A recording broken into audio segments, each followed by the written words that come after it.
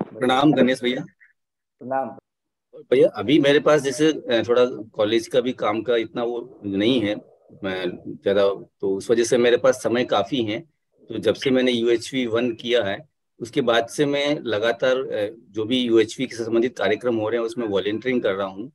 तो साथ में एक भाव अंदर और इसी के विरोध में चलता भैया कि पहले मुझे अपने कंटेम्पलेशन अंडरस्टैंडिंग और रियलाइजेशन के लिए काम करना चाहिए। थोड़ा सा इन सब चीज़ों से आइसोलेट होकर के।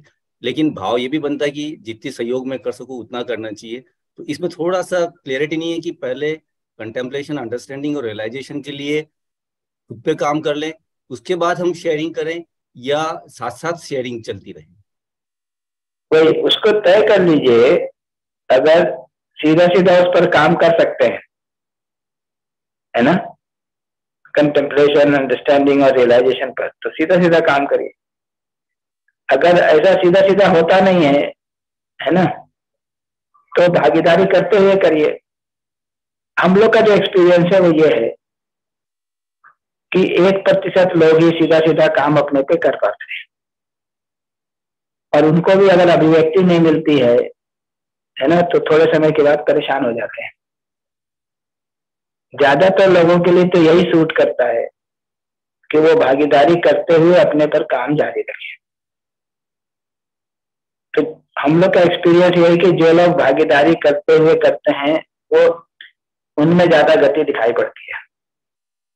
जिन्होंने भागीदारी को न करके अपने पर शुद्ध रूप से काम करना, ऐसा सोचकर करने गए, उनमें से ज़्यादातर लोग कुछ समय के बाद ड्रॉप ही हो जाते हैं, उनका प्रोसेस ही रुक जाता है। बट आप अगर डायरेक्टली कर सकते हैं तो बहुत अच्छी बात है, उसको करना चाहिए। बट अभी हमारा जीना इतना कुछ बाहर डिपेंडेंट है कि अगर आप कार्यक्रम कुछ नहीं लेंगे, भागीदारी नहीं करेंगे तो आपका ध्यान भी इस पर बना नहीं रहता। आप और कामों में व्यस्त हो जाते हैं। तो इसलिए अगर आप हमसे पूछेंगे कि सीधा काम करें या भागीदारी करते हुए करें मैं कहूँगा, अगर सीधा कर सकते हैं तो कुछ दिन करके देखें। जब आपका ध्यान इधर उधर भटकने लगे तो फिर भागीदारी पर आ जाए।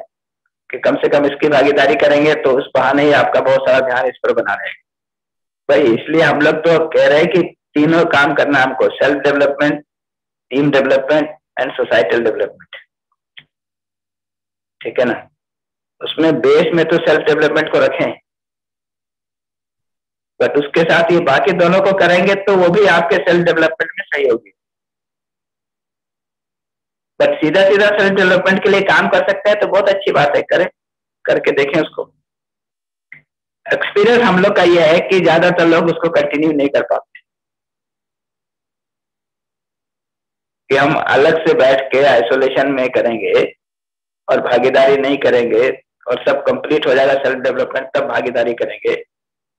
ऐसा बहुत लोग प्रयोग करके देखते हैं, फिर वो उसको कंटिन्यू नहीं कर पाते।